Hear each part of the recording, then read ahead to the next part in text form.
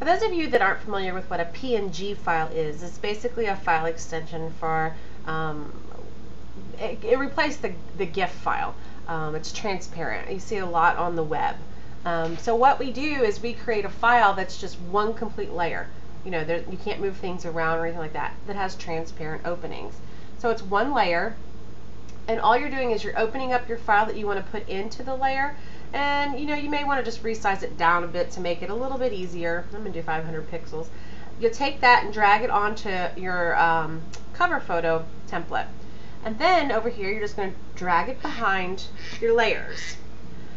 And it's behind the layers. You can see it anywhere there's an opening. From here, you'll go to Edit, Transform Scale, and start scaling where you want your picture to be.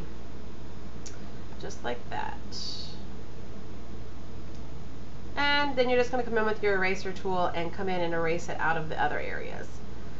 So this is just a way we can sell things to you without layers so that you can't manipulate anything. It's just an easy way to give you away some free things. Um, so you're going to do that with each of your openings and just drag and drop them in there.